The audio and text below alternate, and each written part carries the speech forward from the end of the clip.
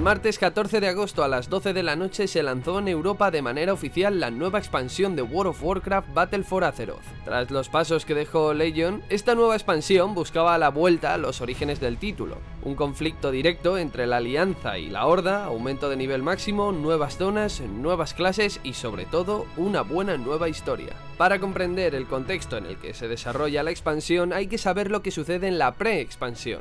y es que tras la caída de la espada de Sargeras, la hostilidad de Nazeroth llega a su culmen con la Guerra de las Espinas, donde la Horda ataca a Darnassus y quema el árbol del mundo y la Alianza asalta a la zona de entrañas para tomar Lord Iron. Este es el pretexto en el que se sumerge Battle for Azeroth, que finalmente llegó tras su presentación en la pasada BlizzCon con muchas novedades que nos harán quedarnos más de una noche en vela frente a la pantalla del ordenador. En primer lugar hay que destacar la incursión de dos nuevos y antiguos continentes al mundo de Azeroth, Kultiras y Sandalar, con tres nuevas zonas cada una en su haber. A ello le acompañan nuevas clases, tanto para la alianza con elfos del vacío, Draeneris forjados por la luz, enanos de hierro negro y humanos de Kultiras, como para la horda con Tauren Monte Alto, elfos Noche Eterna y Trolls Tandalari, unos aditivos que resultan mucho más satisfactorios con la subida del nivel máximo a 120. Por otro lado, se han añadido 10 mazmorras, una raid con 8 final bosses y el modo islas inexploradas, donde tenemos que cooperar con un grupo de 3 personas para completar las misiones que son diferentes unas de otras, cosa que ayuda a rejugarlo. Además, podremos desbloquear el modo frente de guerra y han incluido una interesante opción llamada War Mode que te permite activar o desactivar el modo PvP según lo que queramos. Otro punto muy importante que nos encontramos en esta expansión es el corazón de Azeroth,